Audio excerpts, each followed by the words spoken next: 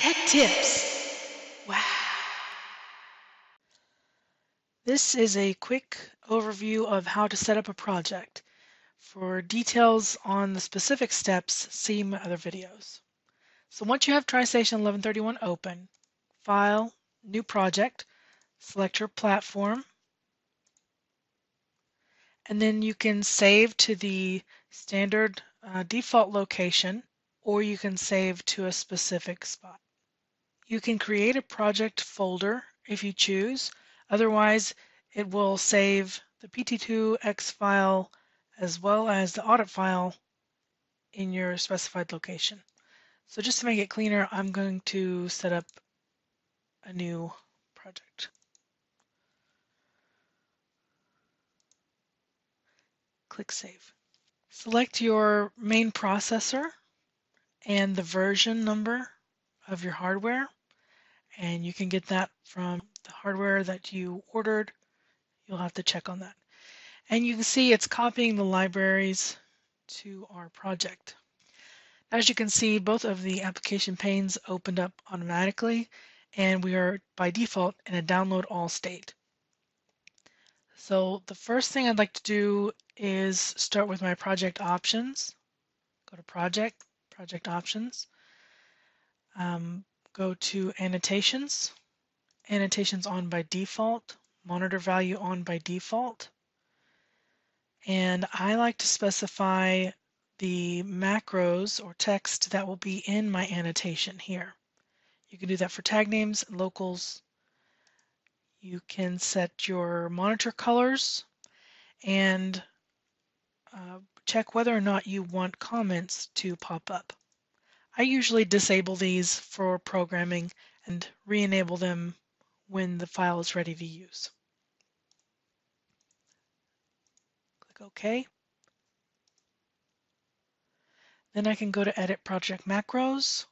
I can program specific macros I'd like to use, and then go back to Project, Project Options, Annotations, and set them there. Then I can start by either adding tag names or adding programs. Let's start by right-clicking uh, User Documents, New Documents, Program, Function Block. Okay. And then I might add a new tag name. And then I can start programming. What I also need to take in mind is the controller tab at the bottom. Double click on configuration. I'm going to turn the bottom pane off so I can see better. Select my operating parameters. Select how I'm going to be communicating with the controller and the node number. Allocate the amount of memory that I'd like to spend on each type of point and input my hardware allocation.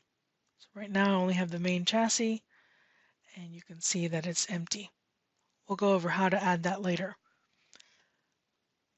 Save that, make some additional tag names, insert some function blocks, and you're off to programming.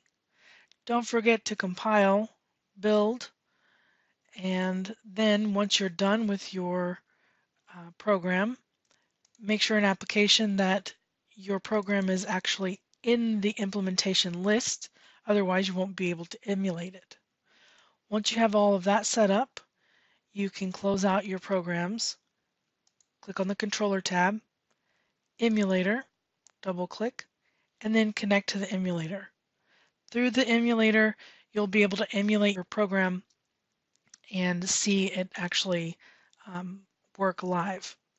You can also do this on the controller if you are connecting directly to the hardware. The correct way to close a project is to hit the File Close Project button.